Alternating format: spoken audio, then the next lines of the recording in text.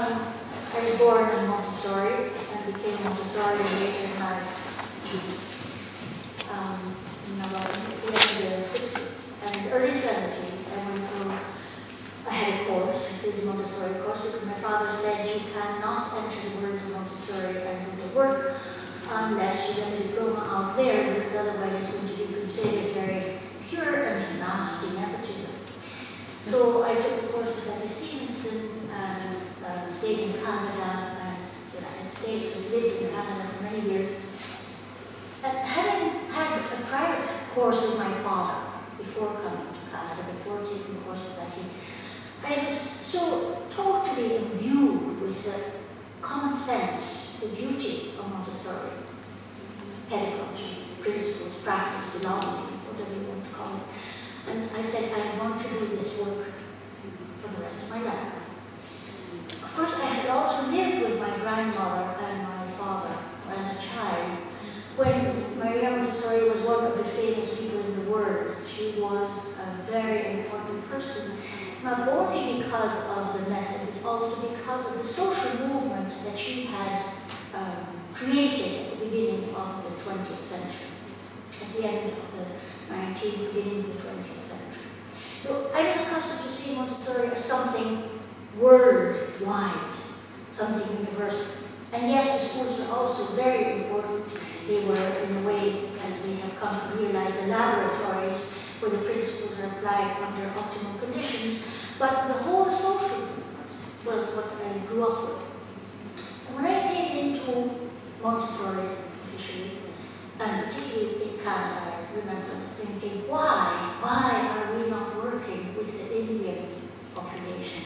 Why are we not working in the ghettos? Why are we doing nothing except schools and training centers where people are trained to work in schools? That the other elements have completely disappeared. And the more I stayed in Montessori work, the more I realized that there is something extraordinarily important to be given to humanity contained in Montessori thought. It is very, very far advanced. I remember somebody said to me, um, um, is Montessori not outdated? I said, oh, Montessori is not dated. Actually, apparently one day I said to somebody, it's not that it's been tried and proved, it has not been tried. Really not in its full dimension. In a society that is constantly connected and interconnected. So it is not that we have these little isolated pockets of information, we have constant information. And information, of course, is totally useless unless it's based on knowledge, and unless it is sought. But in any case, the time I seem to be is very right for the Montessori idea. And one of the things that I always would love to have happened is that the idea come alive and the name be forgotten. And this is, I think, one of the things about Educateurs Sans Frontières. We don't call it a Montessori thing. It is educators without borders to bring the Montessori, the principles, the sane and wholesome principles that Maria Montessori discovered through many years of scientific observation, which is the characteristics of the human child that tend towards sane and wholesome evolution. Those principles that we have been discussing these days what Singana has given us, what we're going to continue to contemplate, and most of you have done so from the school point of view. These have to be brought out, spread, understood, and given because the word is clamoring for them. I remember Robert Froid was coming to the end of the, at the end of this uh, session. He said, you people have a treasure, don't hide it. When uh, we had the onslaught on the, station in Madrid on the 11th of March, I remember that somebody wrote me and said, well, of course, nobody will come to the Educateur session after this thing. I said, no, on the contrary, I think more people will come. I think it will encourage us. Because we're beginning to realize, and it's interesting because Father Rumer just told us is something we know latently we're living on a very, very dangerous level. Not only because of what can happen if somebody touches the little black box or the little red box, but also because what is happening to our children, what is happening in education. There is a, a very candescent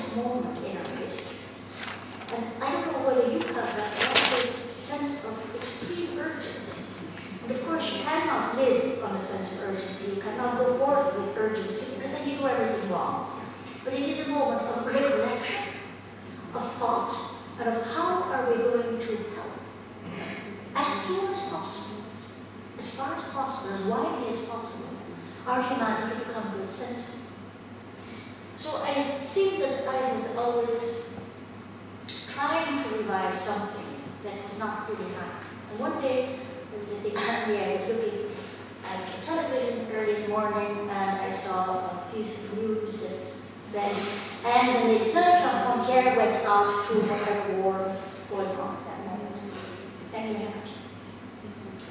Um, and I had this, I thought this is a catchy phrase that Médecins Sans Frontières. I said, what about doing the Éducateurs Sans Frontières? Just to catch people's attention because we do need our little catchy phrases now and again. So I asked the executive committee, uh, could we take this name for us? And it was uh, registered under the AMI Sans Frontières as a small movement that we could begin. The prologue to this very small and insignificant book is based in a way of the rights of the child said in simpler times and simpler societies, the demands made upon us were more explicit. Now, for a great part, our work has become complex, cluttered, hasty, and vociferous on all levels of existence. We live with the insanity of inexplicable wars. We are victims of exorbitant consumerism. Partly out of idealism and the love of the earth and all its beings, human and human, non-human. Partly out of pragmatic self-interest, we try, panic-stricken, to save the planet that we are so conspicuously destroying. Our morals are shambles, our values obfuscated and askew. At the same time, we are so clever. We do so many things so very well. We manufacture unbelievably efficient weapons and make these available for the unenlightened to commit indiscriminate murder with or without the justification of serving obsolete causes, of upholding archaic beliefs. We create equally efficient drugs for those who are vulnerable, weak, and ignorant, to kill their bodies, their minds, their spirit. Yet, we're also great artists, artists, sportsmen, Scientists, architects, engineers, thinkers, musicians, dancers. We are wizards, geniuses, creators of many marvels, too many, too varied to describe. And into this cacophonous, disequilibrated society, children are born. Thousands, hundreds of thousands, millions of children every day. Good, sane children with an unfathomed potential for the betterment of the species. Of these, a very high percentage are physically, emotionally, mentally, and spiritually abandoned in a variety of ways. They are misused and abused in a variety of ways. They are violated in a variety of ways. Those in authority are aware of this and have universally decided to remedy the plight of the child as best they can. According to Article 1 of the Convention on the Rights of the Child, adopted by the General Assembly of the United Nations on 20 November 1989, a child means every human being below the age of 18 years, unless under the law applicable to the child, majority is attained earlier. So broad a sweep of time is perplexing from the point of view of the extraordinarily varied phenomena occurring in the different stages of development which take place from conception to adulthood, each requiring different care, different education environments, and a different attitude on the part of educators.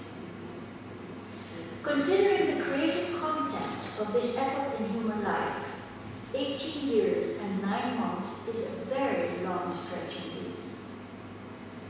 In Article 3, our perplexity is somewhat mitigated.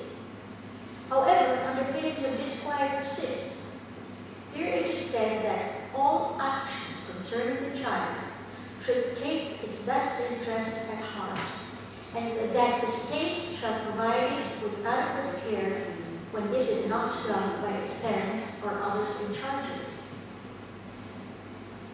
it. It is a human tendency to anthropomorphize, and from anthropomorphic perspective, one feels sorry for the state.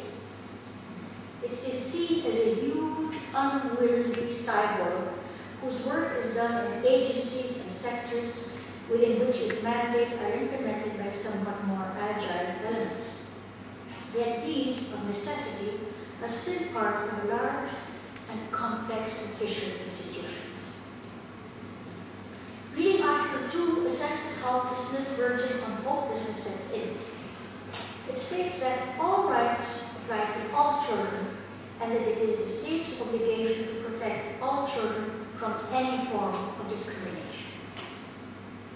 So many children of so many ages and characteristics are in dire need of protection for a myriad different reasons.